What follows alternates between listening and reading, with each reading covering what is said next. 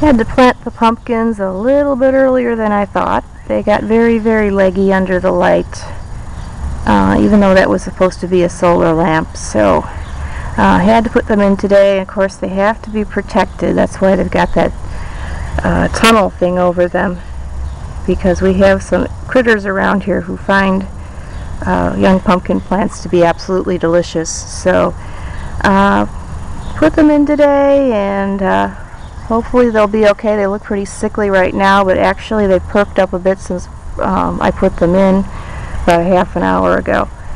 And I gave them a little food. We use, uh, we still don't know if this works. We've been using it for years, but we use it anyway. And Dr. Earth, we started using that last year. So we'll see what happens.